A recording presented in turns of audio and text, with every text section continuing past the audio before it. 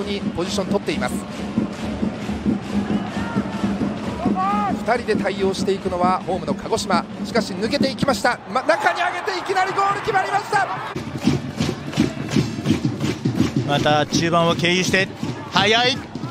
切れ込んでいく。1対1動画絞ってタチノクロスです。ヘディングシュートヘッド一旦当ててさあここは島田がボールを持つ。右サイド。さあここはスペースができていましたが古川走る。スルーしてシュートが決めた。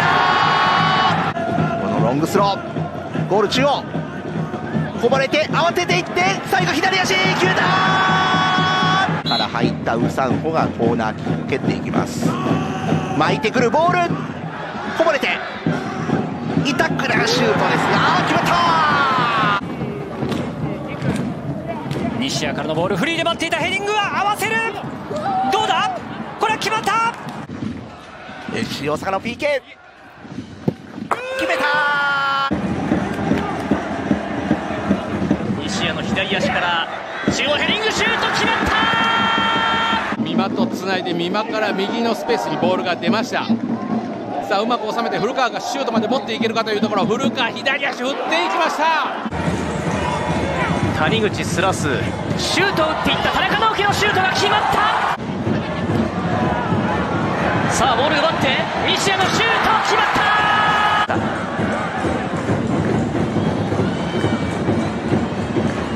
た。さあ FC 大阪チャンスかつないできた。もう一度ゴール前古川抜けてきて谷口シュート決まりました。ストレート系のボール。タチタチノがヘディングシュート。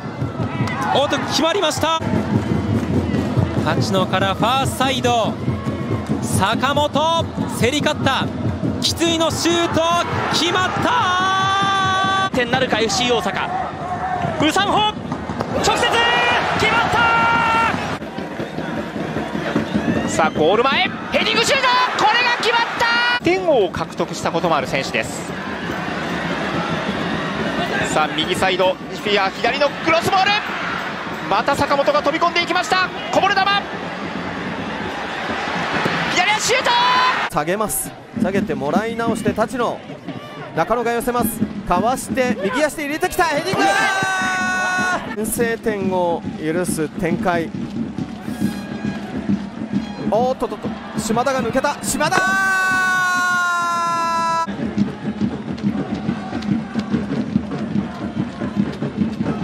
板倉折り返す。あヘッドプレーをしていました。さあフリーキック。ファーサイドからヘディング決まった！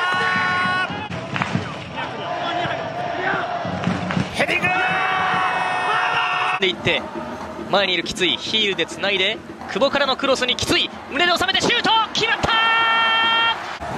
板倉がファーに構えます。ヘディングお見合いになる抜け出してこれるか？シュート打っていった！決まった！決めた！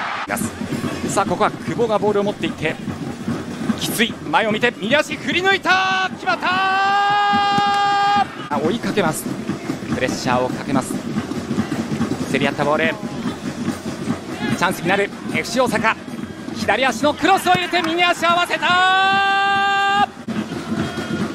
J1、J2、J3、JFL、地域リーグとあらゆるカテゴリーを経験の日高そしてその日高を起点にした。いる久保中を選択こぼれたところ立野収める。上がってきている斉藤ゴールの前出しやった今日スタメン古川大吾止めたがそのまま入っていった。右を使って美馬美馬のクロス。古川ヘッド決まった！立野がクロスを上げる。坂本が残す。そのこぼれたボール。収めて！松浦が田中のシュート！まず緩めません。パスを使いましたがこのボール大阪奪ってさあスピードある。古川。古川のドリブル突破。ファーサイドに田中がいるがその田中を狙っていく古川頭上を越えてヘディング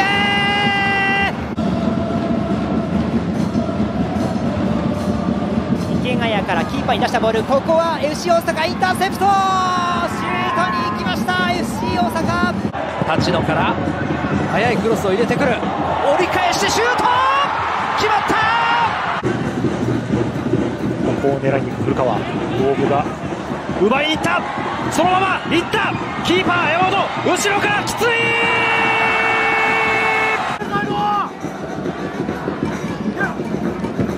シュートキー。ついていく今治。ボックスに近づいていく。久保のクロスは上がった。中央ヘディング決まっ